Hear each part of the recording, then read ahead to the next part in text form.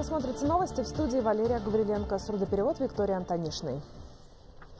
О развитии отечественной науки сегодня говорили в Аккорде. Нурсултан Зарбаев встретился с академиком Кенджигали Сагадиевым. Кроме того, в ходе беседы спикеры затронули основные направления экономической политики Казахстана.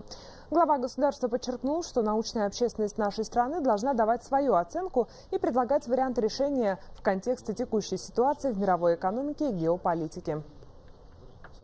Мынандай қазіргі қалмағайып жағдайда дүниеде болып жатқан Сегодня ни один эксперт не может спрогнозировать дальнейшее развитие и пути выхода из сложившейся ситуации. Имеются отдельные мнения о положении дел в Европе, США, Китае, но при этом целостного видения никто представить не может. Более того, возникшее санкционное противостояние между рядом стран не оказывает положительного влияния на мировую торговую систему. Отдельного внимания требует угроза терроризма, против которого возможно бороться только посредством совместных действий.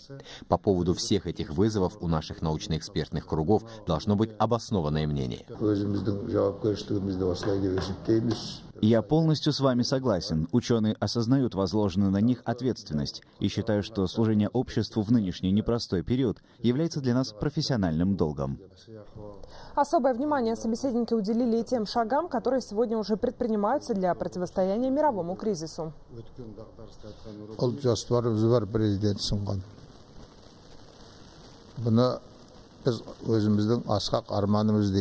Реализуемый сегодня в Казахстане план нации является большой исторической возможностью, потенциал которой должен быть максимально использован. В данном процессе активное участие следует принять как представителям науки, так и всей общественности нашей республики. Предстоящие выборы в Мажилис консолидируют общество, а также позволят парламенту заручиться общенациональным доверием казахстанцев. Такое мнение выразил глава Союза машиностроителей Казахстана Мейрам Пшимбаев. По его мнению, в мировой практике досрочные выборы обычно проводятся в непростой период и, как правило, всегда доказывают свою эффективность. Наступает новая реальность мира. Необходимо научиться жить в новых реалиях, новых условиях. Э, условиях низких цен на сырье, активно продолжая развивая индустриализацию и развитие малого и среднего бизнеса. Досрочные выборы – это возможность для политических партий заручиться доверием на самом старте реализации реформ и продемонстрировать эффективность своих действий по внедрению антикризисных мер. Отечественные социологи провели исследование и узнали мнение казахстанцев о предстоящих парламентских выборах. В телефонном опросе приняли участие 1200 человек со всех регионов страны, как жители городов, так и представители сельской местности. По результатам исследования 96% опрошенных считают, что проведение внеочередных выборов будет способствовать решению экономических проблем. Кроме того, большинство респондентов полагает, что эта инициатива поможет сплотить народ в непростой период глобального экономического кризиса. 95,4% опрошенных респондентов считают, что партиям необходимо получить новый мандат доверия избирателей для практической реализации плана нации. И практически столько же, 97,2% респондентов поддерживают мнение главы государства о том, что выборы продиктованы необходимостью выдвижения грамотных, деловых и преданных интересам страны кандидатов, которые способны понять насущные задачи повестки сегодняшнего дня. Впервые вступить в политическую гонку намерена партия «Берлек». Ее представители рассматривают предстоящие выборы как важный инструмент гражданского единения. По мнению председателя партии Серика Султангалиева, грядущие выборы – это ответ Казахстана мировому экономическому кризису. Политическая партия «Берлек» полностью поддерживает. Поддерживаем э, по тем причинам, который существует сегодня в мире, это глобальный мировой кризис, э, поддерживаю в том плане, что депутаты за короткое время прежнего созыва, они приняли очень много законов э, после послания президента по тем программам, которые озвучил президент по движению нашей страны. Э, и этот шаг дает вливание свежих сил в парламент Республики Казахстан. Коммунистическая народная партия Казахстана также намерена участвовать в грядущих парламентских выборах. Как заявили представители КНПК, официальное выдвижение состоится после предвыборного съезда, который запланирован уже на конец января. В целом, решение о досрочном голосовании за места в Мажилисе член Политбюро Айкен Конуров полностью поддерживает.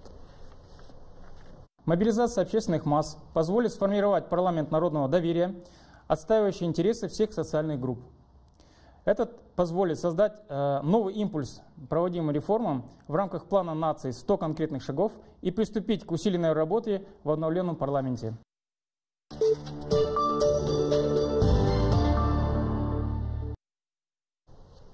Угроза подтопления жилого массива в Семей миновала, уверяют сотрудники УЧС. Напомню, вчера уровень воды в реке Иртыш поднялся более чем на метр. За прошедшую ночь он снизился на 24 сантиметра. Несмотря на стабильную ситуацию, на берегу продолжают дежурить наблюдательные посты. Накануне вечером в поселок Восточный прибыли свыше 50 грузовых машин с грунтом. Коммунальные службы совместно со спасателями соорудили у реки двухметровые земляные насыпи. Ну, в данное время ситуация стабилизировалась, населению не стоит беспокоиться, особенно жителям полковничьего, острова Полковничьего и вот э, поселка Восточный, где вот именно э, ближе расположены к Иртышу. Беспокоиться сейчас не стоит. Э, если какие-то изменения произойдут, мы дополнительно еще сообщение дадим. Следующем году в Астане начнут строительство нового индустриального парка. Подробнее об этом проекте сегодня доложили министру по инвестициям и развитию Асету Исикешеву и Акиму столицы Адзельбеку Джаксыбекову. Известно, что на территории новой зоны расположится около сотни предприятий. Это проекты стройиндустрии, фармацевтики, машиностроения, пищевой промышленности и другие.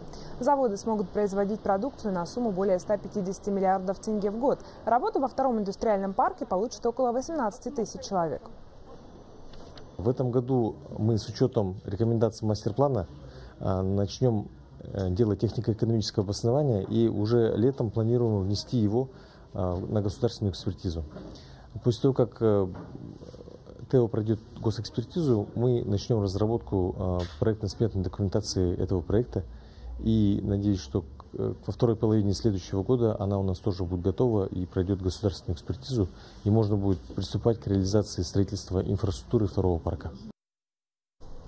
Инвестиционные споры в Казахстане теперь будут рассматривать новая судебная коллегия. Об этом сообщили сегодня на расширенном совещании судей высшего судебного органа. Решать споры иностранных бизнесменов будут специалисты с большим стажем работы. В коллегию вошли семь человек. Кроме этого, на совещании рассказали об итогах работы за прошлый год. По сравнению с 2014 в суды страны поступило на 5 тысяч больше уголовных дел. Но при этом число осужденных снизилось на 13%. Также было отмечено, что казахстанцы начали активнее подавать заявления заявление в суд, а в электронном формате. Информационная технология развивается во всех отраслях жизни у нас. И судебная система э, не исключение. Человек, не приходя в суд, может подавать документы, следить и, соответственно, получать судебные документы э, в электронном формате. Всего 425 тысяч э, документов были приняты через судебный кабинет. Это почти половина всех подаваемых документов, поданных документов в 2015 году. По результатам дневной сессии на казахстанской фондовой бирже средневзвешенный курс составил 382 тенге 87 тиинов за доллар. В сравнении с утренними торгами казахстанская валюта подешевела на 3 тенге 1 тиин. 23 трейдера участвовали в работе рынка. Общий объем торгов приблизился к 64,5 миллионам долларов. Индекс Jones на Нью-Йоркской фондовой бирже с начала года в постоянном падении. Неопределенность на финансовых рынках дает повод для мрачных прогнозов. О последних финансовых тенденциях с международными аналитиками Уолл-стрит поговорила наш корреспондент в США Майра Абдрахманова.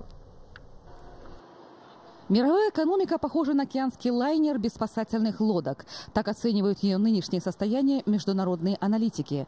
И хотя Уолл-стрит внешне выглядит спокойно, привлекая респектабельным фоном фотокамеры многочисленных туристов, атмосфера здесь достаточно тяжелая. Обвал фондовых индексов, падение стоимости сырьевых товаров напоминают американцам времена Великой депрессии 1929 года, когда произошел крах всей экономики США. Беспрецедентный рост государственного долга Америки от 10 триллионов в 2008 году приближается к отметке 19 триллионов. Тем временем и безработица в этой стране достигла шестимесячного максимума и увеличивается с каждым днем. Падает промышленное производство, другие базовые экономические показатели и индикаторы.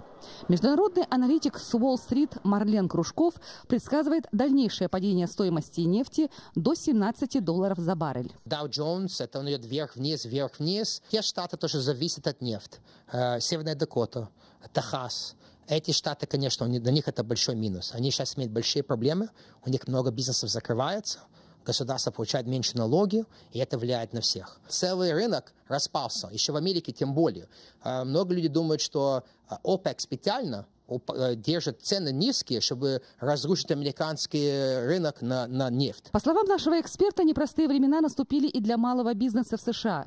И это тревожный звонок, так как на свободном предпринимательстве традиционно основывается стабильность американской модели рыночных отношений. В Америке есть где-то 40 или 60 миллион маленьких бизнесов. И сейчас для них это тяжело, потому что много этих бизнесов зависит от иностранских а, покупателей. И до растет. Банки не раздают деньги маленьким бизнесам. Если ты имеешь ресторан, и ты хочешь развиваться, хочешь одолжить деньги, Сегодня очень тяжело получить, почти что невозможно получить деньги от банка. И люди много говорят, что в Америке, с одной стороны, есть много очень богатых людей, но в то же самое время очень много бедных людей.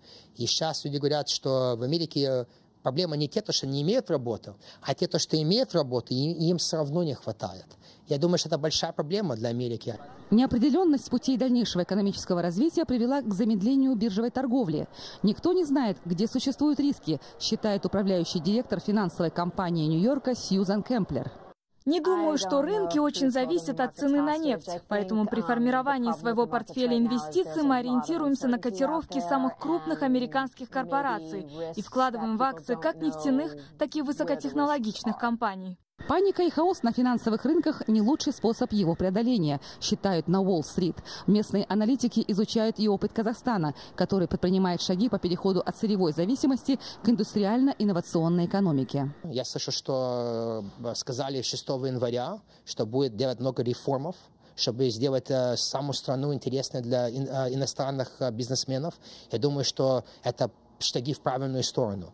Я думаю, что Казахстан, как все страны, зависит от э, глобальной экономики. Когда страна стремится э, сделать эм, законы легче для бизнеса, это всегда хорошо. Иностранские клиенты то, что делают э, инвестиции с одной страны в другую страну. И все ищут что? Люди хотят стабильную, страну. Ну, Казахстан, я думаю, это очень стабильная страна, уже много лет стабильная и будет стабильная на будущее. Никто не волнуется про этот вопрос. Совсем скоро в Китае будут отмечать Новый год. Ожидается, что фондовый рынок Поднебесной будет закрыт в течение недели.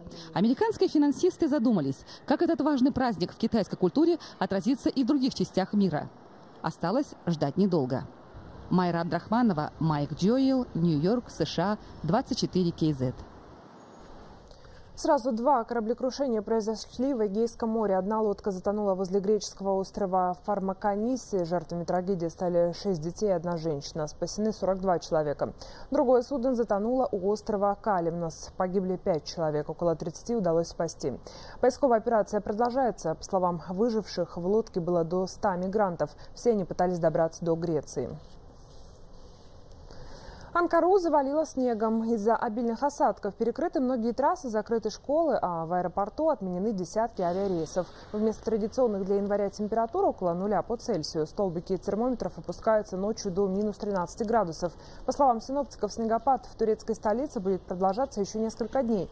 Местные власти призвали горожан оставаться дома и не садиться за руль без крайней необходимости. Казахстане на выходные ожидается несильный мороз. Погода будет преимущественно без осадков. По информации Казгидромета, на севере и востоке страны температура воздуха ночью составит 10-15 градусов ниже нуля. Местами столбик термометра опустится до 28 градусов мороза. На западе синоптики обещают, что будет чуть теплее, ночью до минус 15, днем 10 градусов мороза. Жителей южных регионов ожидает теплая погода, ночью до минус 8, днем до плюс 10. В столице, по прогнозам метеорологов, потепление придет с понедельника. В Астане ожидается без осадков. Температура ночью 12-14 градусов мороза, днем 9-11.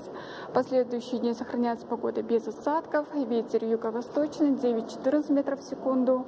24 ночью ожидается 15-17 мороза, днем 10-12. На этом пока все. Оставайтесь с нами.